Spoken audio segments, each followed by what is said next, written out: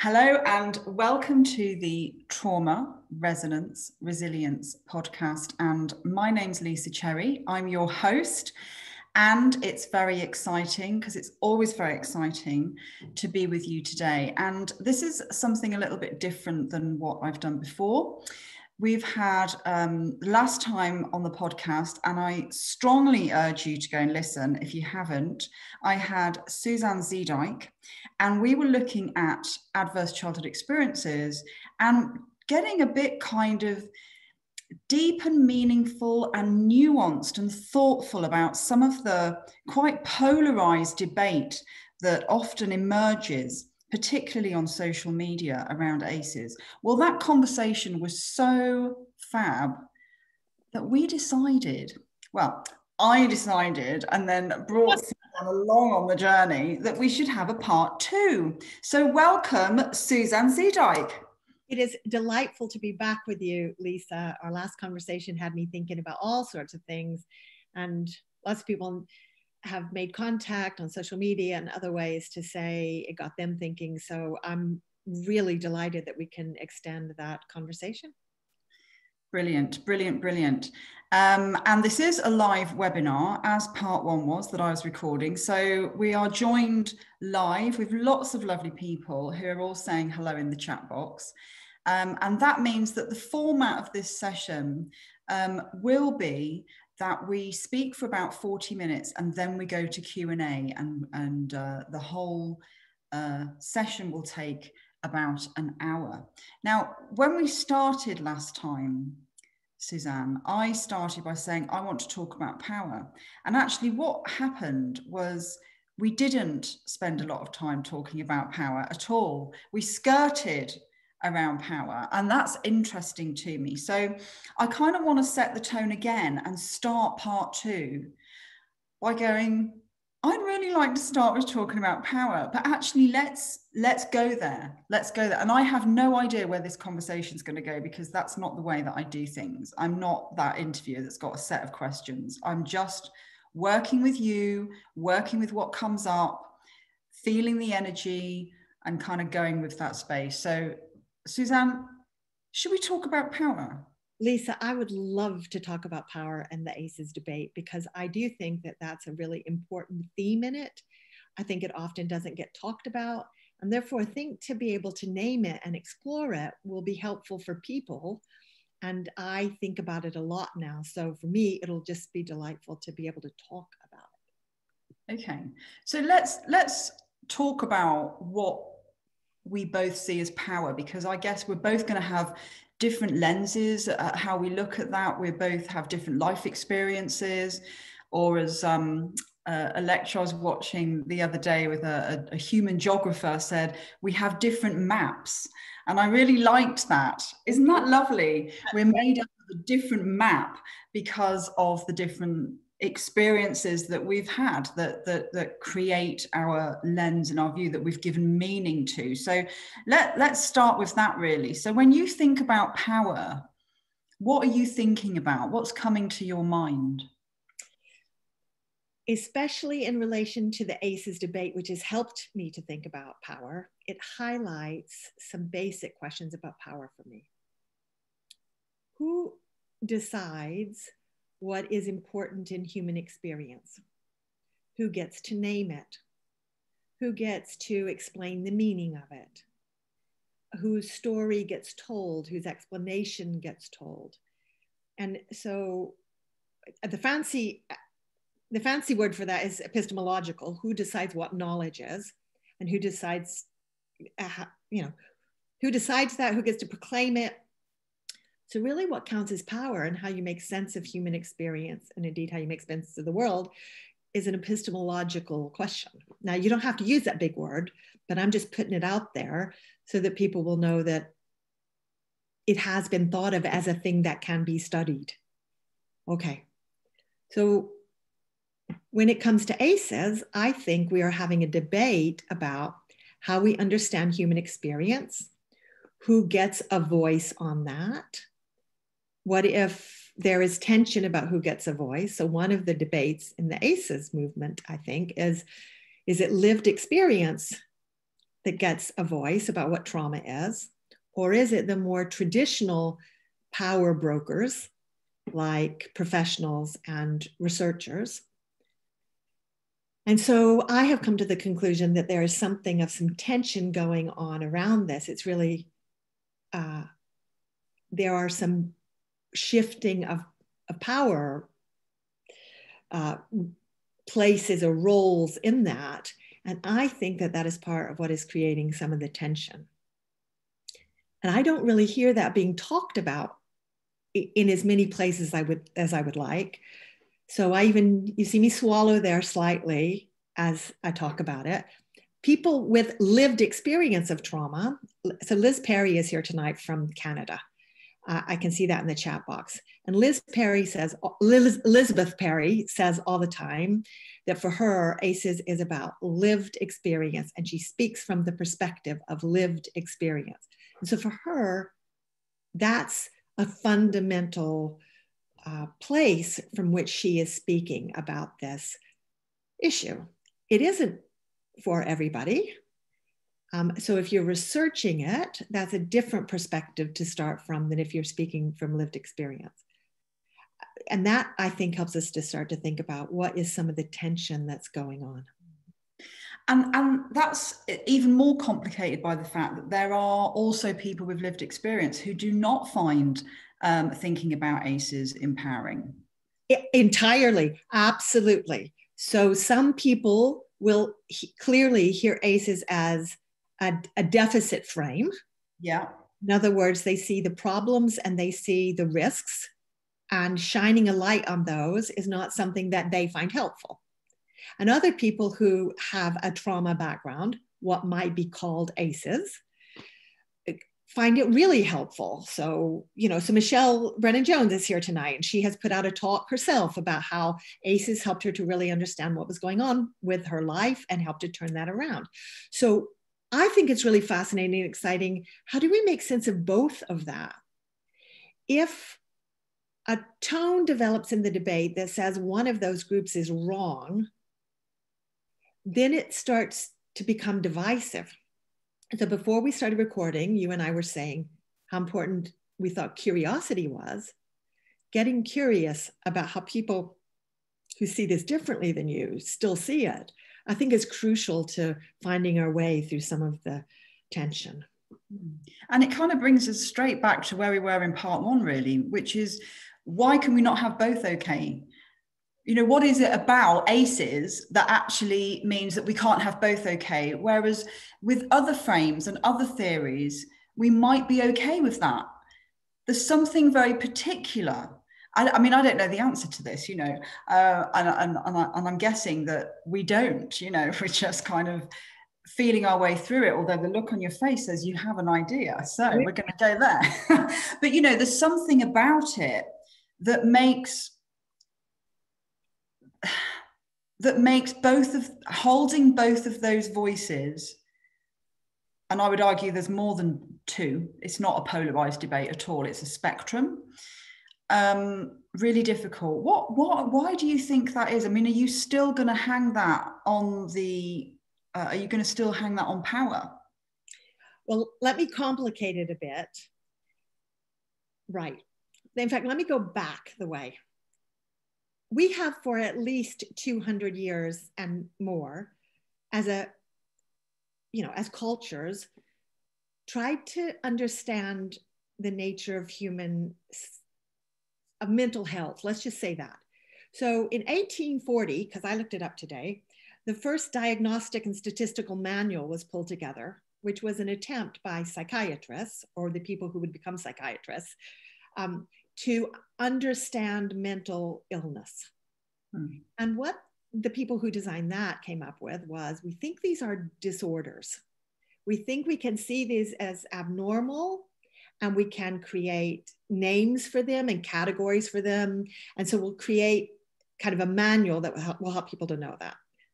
So that the way of understanding mental health became a disorder. So you had disordered behavior and feelings and, and mental health, and then you had normal mental health. Okay. and then we got to World War One, and there was a lot of attention to trauma, and that actually trauma produced behavior like shell shock. And we began to think about the nature of human experience and behavior in a new way. Okay, fast forward to now. ACEs and trauma, eh, so extend from the World War One, says, you know what, I'm not sure that disordered stuff makes sense. Actually, what happens? What, what if some of the behavior and experiences that we have seen as disordered are actually the normal outcome of trauma? So now we have some really different ways of conceiving human experience and human behavior and human suffering. Okay, ACEs is is in that discussion. but the way that it got conceptualized and measured from the outset is, I think, part of what I'm just going to call the tension, because I think that really matters to some people. So, because Felitti and Anda, in order to put it into empirical research, measured it through a scale of zero to 10, it was conceptualized because it needed to be measured in a numerical fashion. And in fact, I saw a paper recently that was entitled Trauma by Numbers. Some people find that basic conceptualization anathema, I think. Just for them, it is just the wrong way to think about trauma. And for them, it's so fundamental. They anything that comes after that is kind of it, doesn't matter. It's, i don't know if irrelevant is the right word but the conceptualization for them is just wrong. Okay then there are other people that i call now think of as trauma by idea. They're not concerned about that conceptualization and the way it got measured. What is exciting for them if exciting is the right word is the idea that childhood trauma can produce lasting consequences for the body. And they're not they're not so worried about how it got measured. What for them is the excitement is the idea. And so i think part of the tension are some is some very um, some strong views at the level of how important is the conceptualization.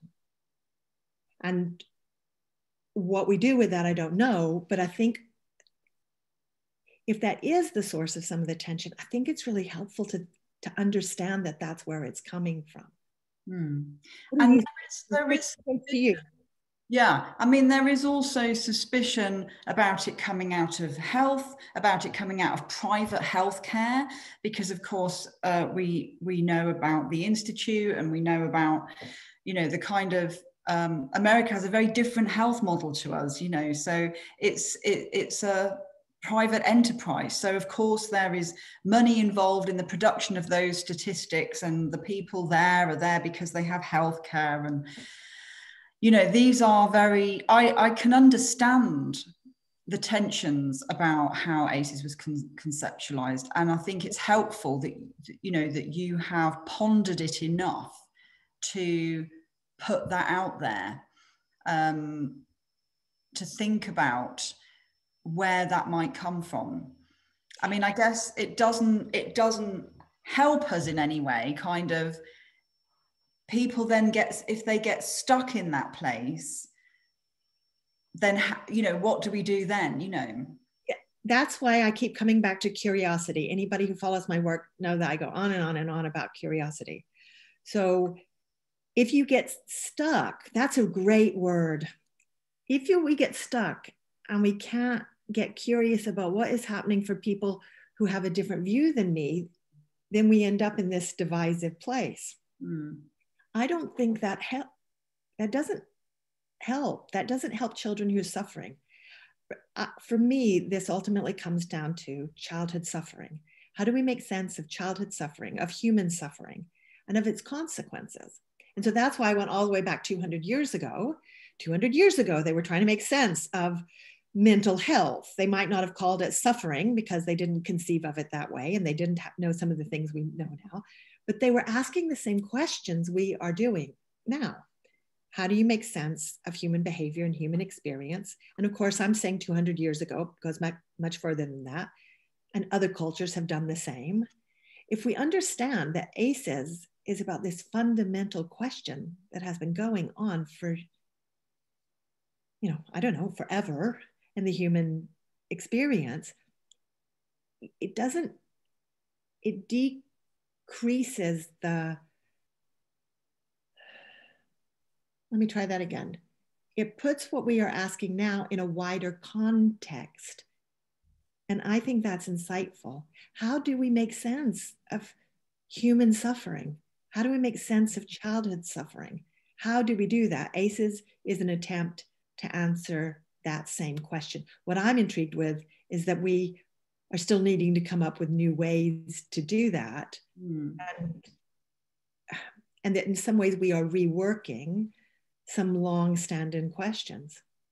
But you suggested just a moment ago that you felt that it's we're possibly in a paradigm shift. Um, and I, think that's possible too, especially when you think about um, the power threat meaning framework and the kind of reactions that Lucy Johnstone gets um, whenever she writes about power threat meaning, um, or she's you know drop the disorder. That that whole area um, equally gets far more, far more um, problematic uh, discourse than ACEs, I think, and and that is a direct uh, reaction to the DSM uh, and basically, you know, saying that we we should. Oh, look at your face. You see, people listening on the podcast can't see Suzanne's face, but she's going. Okay, let now let's go back to power. Yes, which is where we started. Okay, who gets decide to decide what the meaning of human experience is? who has the power to decide it who is accorded the power or who claims the power who fights their way to power there are power structures in our culture as there will be in any culture who have the ability to you know who have the power to assign meaning to human experience so go back to the dsm professionals carry the power to do that. You can be given a disorder. In America, you there's a whole economic structure that goes with the, the assignment of a disorder. Mm-hmm. So, in other words, you can build a professional, an economic, a cultural structure around particular interpretations of human experience and suffering. I mean, it's not surprising. In fact, it's almost inevitable but people don't get a chance to think about this stuff, right? You don't often get a chance to unpack it. Okay, what happens if you then start to have an argument about whether the frame that the people in power brought is the one that has to be, or what if there is an alternative? And so I do think ACEs is part of a possible paradigm shift. I actually think that's been going on since 1940s and 50s with attachment theory because for me aces and attachment theory are very uh, overlapping. They're the same territory. Lots of people won't know that because we don't always use the word attachment with aces but for me aces is extending the insights from attachment theory. Who is not always using the word attachment with aces? I'm curious about that when you say we don't always do that who who is not doing that medics um, so Okay. So if ACEs comes out of a medical background, which makes some people uncomfortable, Nadine Burke-Harris is a pediatrician. Mm. Anda and Felitti are seen as medics. So, I mean, if I read everything that any of them have written, I might find the word attachment, but off the top of my head, I have never seen any of them talk about ACEs through an attachment framework. So the word buffering is more likely to get used now. For me, buffering is about what Bowlby would have called a secure base, a secure attachment. But this and is have mm-hmm. very interesting discussions about the theoretical basis for buffering versus security, but we're not having those discussions because I don't think there's enough link made between the attachment and the ACEs. Right. This is really interesting, and I want to hold this this point because this might actually be a, a, a clue into some of the tension that comes out of academia, out of social work, is that we have this um, this study, the ACEs study, that is clearly about trauma and clearly about adversity and clearly about attachment relationships and early childhood development and all childhood development. And yet, those are not the things discussed from the outset. Correct. Yeah. So that hadn't really, that penny hadn't really dropped before this moment because because that's so um, clear for me to see because of my map, the map of me, the work I've done, the settings I've worked in, the frameworks that I'm used to working with, the academic stuff that I will have read, and the practice that I will have uh, delivered. It hadn't occurred to me that, that those connections wouldn't have been made at the outset. So I think that's really interesting. Okay. And I think that gives us a clue about some of the tensions. Okay, let me build on that. ACEs is really an empirical discovery. So a correlational design was used to discover what for some people was not a discovery at all. So some people have gone, all of us know that. How come Felitti and Anda are so late to the party to know that about child sexual abuse? And it's true, feminist social workers in the 1970s knew that there was a relationship. And you could say, how come Felitti and Anda didn't know that? Well, so did Freud. So did Freud. I mean, it's, you know. Well, the, the bottom line is they didn't. So sometimes now people go, but we know that. It's probably true. There are we's that know about the impact of childhood trauma, but there are many other we's who do not. So when we think that everybody knows what our sector knows, we forget to be curious about what other people don't know. And ACEs has been effective for all its limitations in helping a lot more people to get interested in the impact of trauma who had no idea that that was part of their employees. Most business owners have no idea of this, and they don't know that they could help, and they don't even know that it's their responsibility. That's interesting that ACEs can reach you know groups of people who have never thought about this before. But go back. Okay, so ACEs is an empirical discovery, it doesn't have any theory. So after the original discovery in 1998, what has needed to happen is that we'll just call them the medics needed some theory about how that you know neurodevelopmental problems occurred in the aces triangle well, attachment theory can supply some of that theory about how that happens. But because ACEs didn't start from a relational frame at the time that it was discovered, we've got these two things that I think are the same territory, but that are starting from different places, that are using different language, that are using different assessment techniques. So attachment used the strange situation paradigm. That's a behavioral assessment paradigm. And everybody didn't get upset about that because it was about children. One of the reasons, one of the other reasons that I think ACEs exercises people is that it's about all of us, or it's the potential to be about all of us. And that, um, you know, not surprisingly, people have feelings about that. So if we come from an attachment paradigm, people think that's about children so that becomes the, the people over there, the children.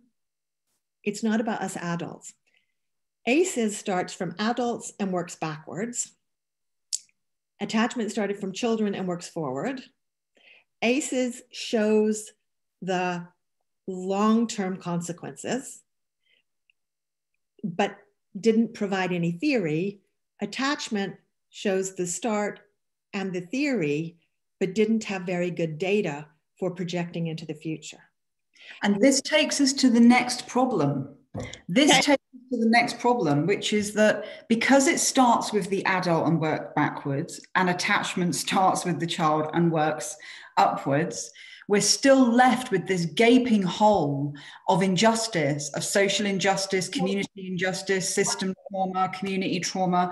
And that's another aspect of the theory, if you like, that, that then doesn't get added to the debate and the discussion in a meaningful way. And in fact, that has been one of the tensions as well hasn't it? You know where is that? This is individualized and you know it doesn't it, there's no activism and there's no i mean that's not how i see it. I have to say i think it opens up a really big opportunity for um, activism. Um, but that's through my lens that's through the we that i sit with and we've already discussed and talked about the fact that there are a whole other bunch of we's uh, that will probably be very comfortable in individualizing it and believing that the problem therefore lies in the individual and is not a mishmash of the community and the socio-economic circumstances that we're living in. Where, okay, so switch it slightly. Where do you start with the solution? So let's switch to poverty for a moment. Okay, so one of the areas of tension is is ACEs, is a focus on ACEs keeping us from solving poverty?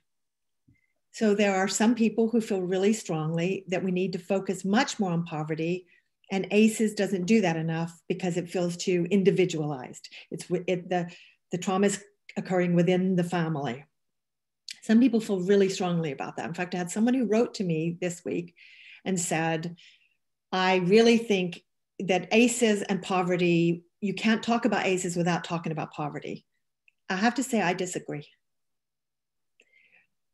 Poverty absolutely causes all sorts of trauma and injustice, and we, we need to fight it, and we need find, to find ways to eliminate it.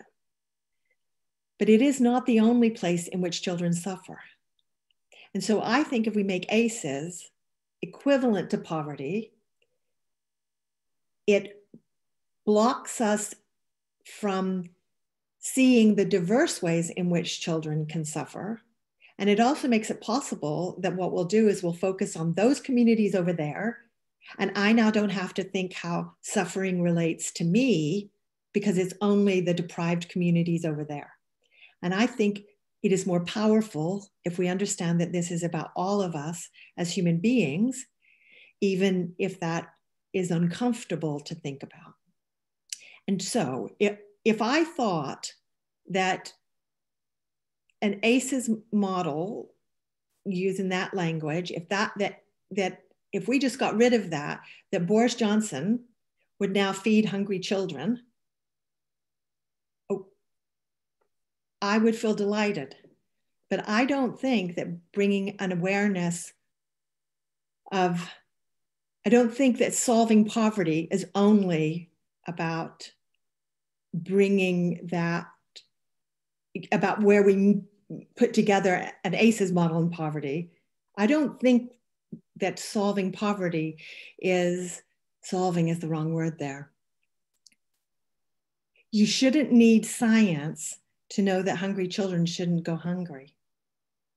And so it. Amen, sister.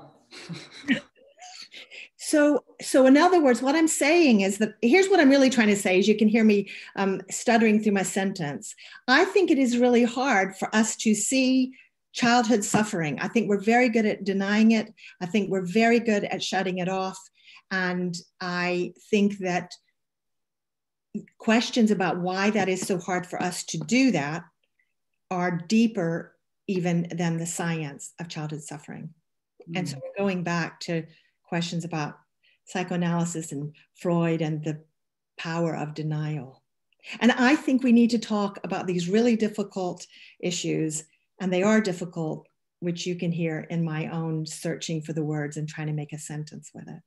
Mm, absolutely. And um, and again, I guess that's what adds to the whole challenging debate when it's tried to be played out on Twitter. You know, this is this is deep stuff. This is complicated stuff. This is why I wanted to have an opportunity, you know, to have deeper conversations about it that takes it away from 140 characters or even 280, however many we've got, when we're trying to grapple with some really quite difficult things and aspects. Um, so I'm with you on that one. One of the reasons this really matters for me is that when the debate gets angry, people get scared. And when people get scared, they then shut down and they back off and they don't know if they're entitled to have a view, if they don't feel confident enough.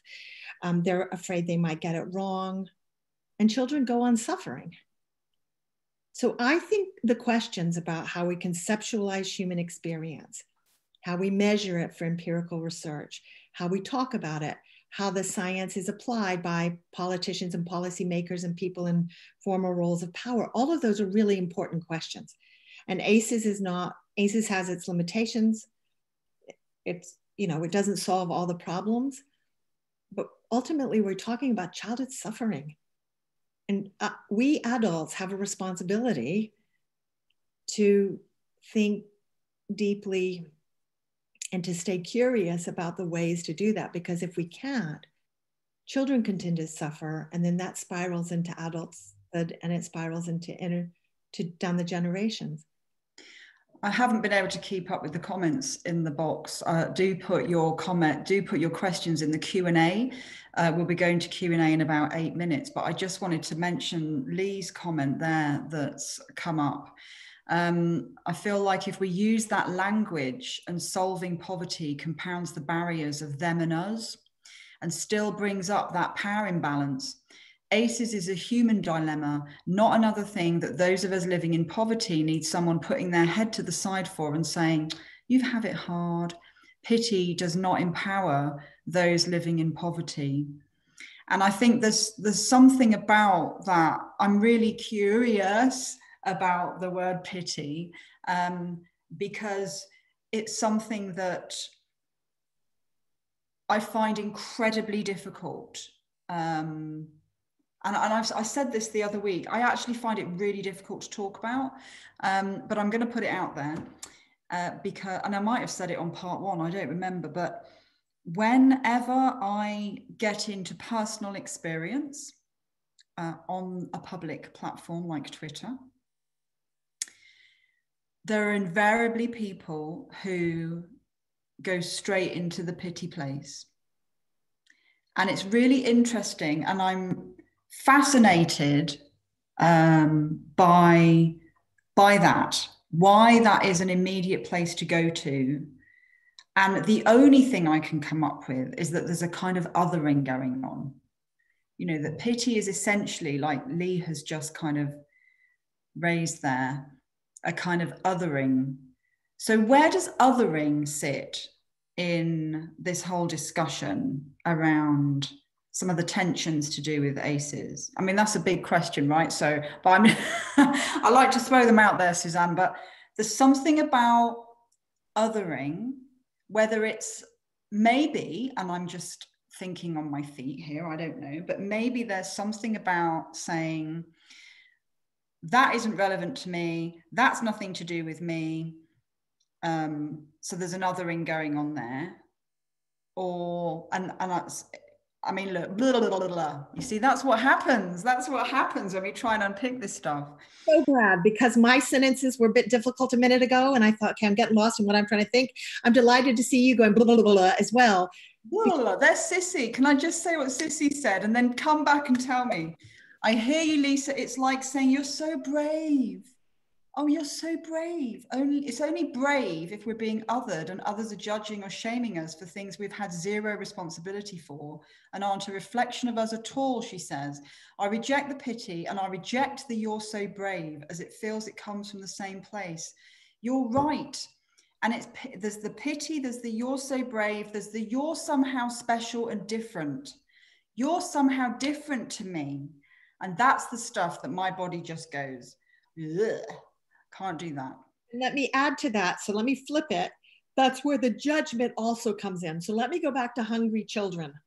Okay, right. Because, and for anybody who is coming from outside the UK, there's a big debate going on about here in the UK about whether hungry children could be fed by funds from the government over uh, school holiday times when normally they would have had school, um, they would have had meals in school. And Lisa has been a big leader in that campaign on social media. So there's been a big argument going on here. Okay. What happened in the Victorian period is that a number of, I'm just going to use really strong language here, middle class do gooders decided that maybe they should help some families living in poverty because they felt sorry for them. But you had to show that you deserved the middle class assistance. So if you were the deserving poor, you got help. And if you were the undeserving poor, then you weren't seen as needing help because you should stretch your budget, you didn't work hard enough. In other words, you had to live up to someone else's standards. You got judged. That same dynamic has come up in, in last month's debate. Were families living in poverty working hard enough? Were they um, were they wasting their money on iPhones and skyboxes? And therefore, that was a reason to not feed children in poverty because their parents were responsible for feeding them and they were the undeserving poor because they were bad parents for me, that dynamic absolutely overlaps on the pity and the brave one, and it takes us back to power. It others people because I decide whether you are deserving of my respect and compassion. And we're suddenly all the way back to where we started, which is these power dynamics. And increasingly, I just think that if we could look at and confront some of those power dynamics more, we we might better understand where some of the tension is coming from, and we might be coming up with better responses and solutions to, to some of those tensions. Because if we can't do that, you know, in another hundred years, there'll be people like us here all over again. I would like us to find more creative ways to address and more effective ways to address mm-hmm. childhood suffering but in order to do that, we will also need different cultural values than we currently have in an awful lot of Western countries, including the UK and the USA. And so these are wider issues than just individuals and yeah. families. Yeah. Um, the two books, just for the listeners, that I guided people to um, on Twitter, one of them was Higginbotham, A History of Children's Homes. Really fascinating book that looks at the creation of charities, the ones we still have today, where they came from, what where they were derived from. You know, I, I think it's just fantastic. And the other book was um, Al Aynsley-Green, which is um, uh, oh, what's the book called? Help me, help me. Um, Lisa, I'm closing my eyes because I know exactly which you one you picture the book. Uh, i'll pop it up uh, in the notes in the show notes. Um, but both really help um, understand the history uh, of uk's relationship um, with children and poverty. And i'm going to take us to the q&a um, and have a look what we've got going on here. We've got our first question in how do we get the balance right to acknowledge that some of us have been through rubbish without brushing over it, but at the same time without pitying? That's a really good question. Do you want to go there do you want me to go there, Suzanne? Well, I think here's how I do that. I start by making sure that I don't pity. I start with me and I mean, I, I don't think I'm drawn to that. I'm happy to have anybody point out to me where I might have done that, but I make a point of not doing that. I make a point of talking about not doing that. And then I try to ripple that out. I have control over how I think and how I approach it. So, one place to start is with ourselves and how we help our the organizations and the groups that we're with to pay attention to that too. Now, that is not going to solve all of it, but it is a place to start and it is something that I have control over. And I use my voice to try to talk about that and confront it. Where do you start, Lisa? Empathy. Okay, go on. Well, I think empathy is just such a different place to pity, isn't it? You know, I mean, I think it's it's much more comfortable for me to hear from someone that sounds really shit. You know, rather than, oh, that's so brave. There's a real difference there, isn't there? You know, oh, that's so brave. Or actually, that sounds really shit. That sounds really, really difficult. You know, and just being with that.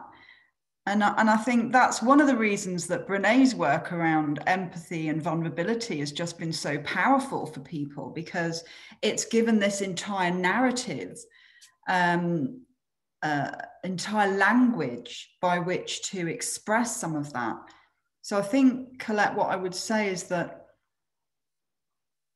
when we express empathy or receive empathy, I think the whole energy is different.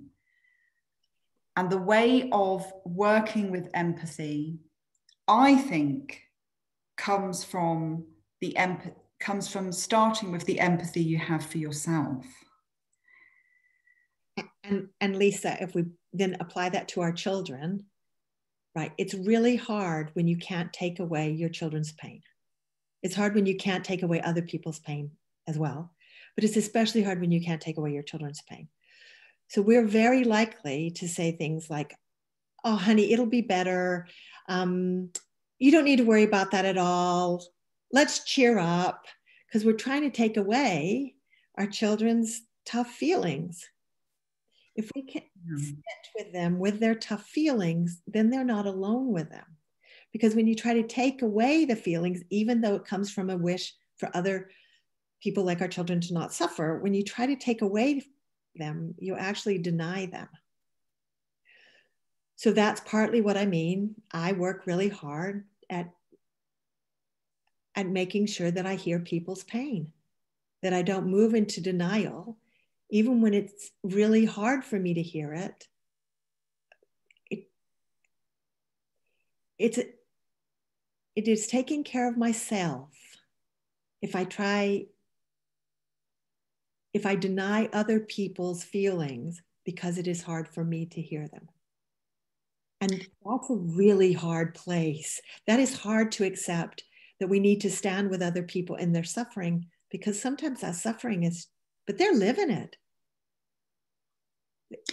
I was thinking about uh, this week, I was thinking about relational poverty and why, when I'm delivering training, and I have to spend quite a lot of time unpicking the word relationship, what a relationship is. And I was thinking about this why is this so difficult? But of course, it's difficult because in order for you to understand relational poverty, if you come from a place of relational wealth, you literally have to imagine all the people who you really love have been removed from your life.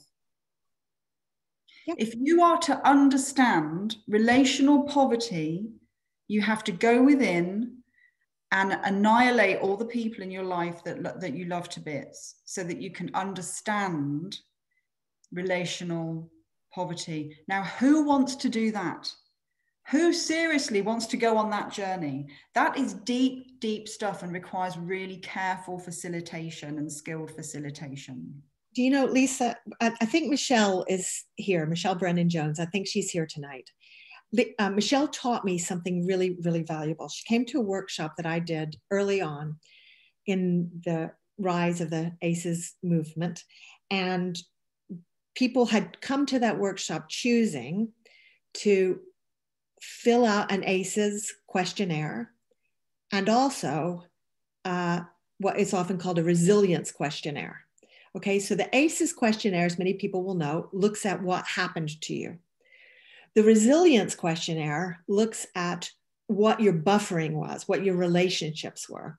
And Michelle said at that event, and I wouldn't be saying this if I didn't think Michelle was happy for me to say it, is that filling out the ACEs questionnaire was was not as nearly upsetting as was filling out the resilience questionnaire. Because what she discovered was the relationship she did not have. Yeah. and that she hadn't quite thought about that. And that's a really powerful story because lots of us will take those relationships for granted. Yeah. Michelle's story is an example of what you just said. Sometimes what you discover is what you what you didn't have rather than the pain that did occur to you. And that flips on its head some of the aces insights. And and i think we just need to think about those complexities and that and that depth more than simply the 10 events in the aces questionnaire. Absolutely. Um, thank you colette for that. Um, fiona fiona says can you say a little bit more about denial so the denial of ex- effects of experiences and who does this serve? Who asked that question, Lisa? That's Fiona. Fiona. What a brilliant question. Here's my best illustration. It's brilliant, that's why. How we do it. It's a brilliant question. the question that is asked in the film Inside Out. I talk about that film a lot because, at one level, it's a safe place for us to talk about these incredibly difficult, painful, scary issues because it's a Pixar film. And you kind of know it's going to end happily because it's a Pixar film. But along the way, they take you through a terrible journey. And for anyone who's not seen that film, um, it's about Riley, who's 11 years old, and her dad got a new job, and they left the home she loved and they moved across America. And she hates it. She misses home, she misses the tree, she misses how the tree smells, she misses her hockey team, she misses her back garden. She misses her friends. She does not like life in San Francisco.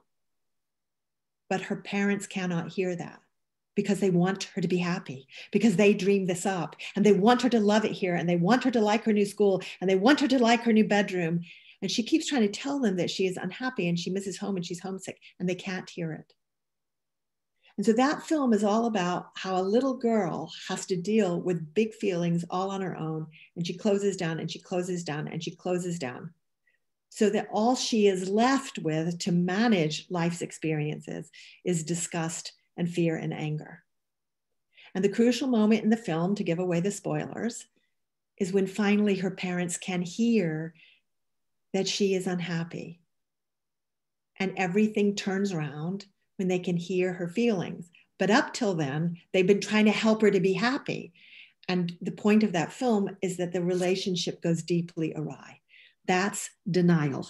And it's because the parents found it too hard to think that they could have made the little girl that they love unhappy.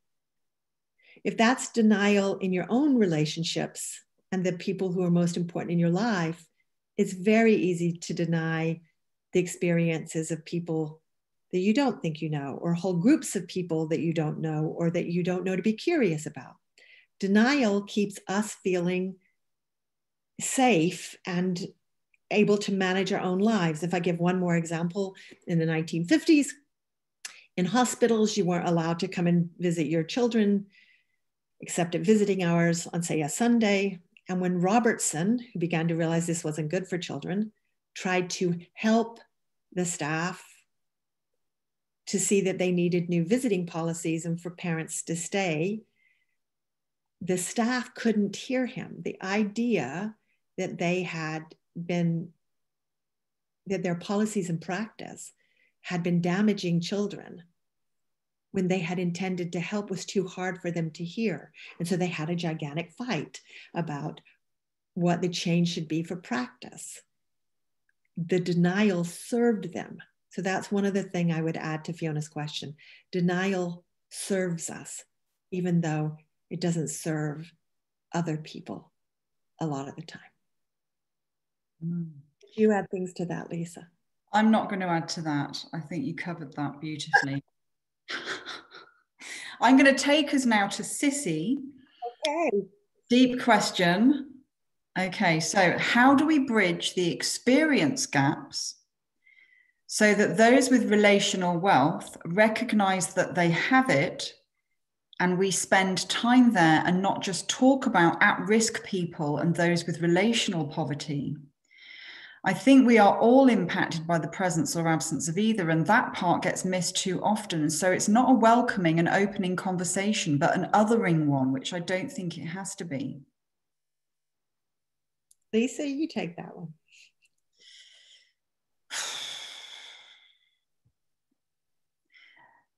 It's a really difficult one because by acknowledging relational wealth, my experience is sometimes what happens is people who have that feel shame. Mm. and that can shut down the conversation before you can go somewhere. I think conversations about that have to be held really skillfully and carefully. Um, but whenever i talk i talk a lot about resilience i use the word resilience even though i know it's not um, it's another very contentious word, but I'm clear about what it means for me and I make that explicit. And it means um, having resources, relational resources, food, uh, sleep, our basic needs, um, housing, safety, security, all of those things. Um, and I was talking about that somewhere or other, I can't remember, and talking about how, you know, we we need to get comfortable with having a look at what our resources are and observing what we do have and observing what we don't have and learning some of those skills about how we ask others for help in building those resources and i guess that's what a lot of self-help groups are 12-step uh, programs and then when we feel resourced and we have that discussion with ourselves then we know that we're in a position to add to somebody else's um, system, resource system. Uh, so I do think that that's a, that's uh, having deeper conversations about how we how we think about resources rather than when we've got someone in front of us talking about all the things that they they don't have a little bit of focus on what they do have and thinking about how we access things that we don't collectively you see the problem is is that services are still working with the individual this is yep. a challenge because until we have services that understand interdependence and how we build relationships that are not service dependent and policy dependent but broaden what's available to people in the community uh, then we're not going to be having the right conversations. And I think we've got Melissa in the room, and um, I know that that's a huge part of the work that she does at the Hub. Um, because the conversations about relationships, resources, resilience, relational wealth, relational and poli- uh, poverty come out of a particular lens about how we help each other that is not the lens of most services and I think that partly it goes all the way back to disorders, which came up earlier today, right? When you see this as a disease, as a disorder, as a condition, then it's a thing that you have that we have to fix. It, and that's a really different way of understanding human experience and suffering, a different conceptualization than you know, so relational versus disorder, those are really fundamentally different ways of understanding it, and they bring up different solutions. Mm.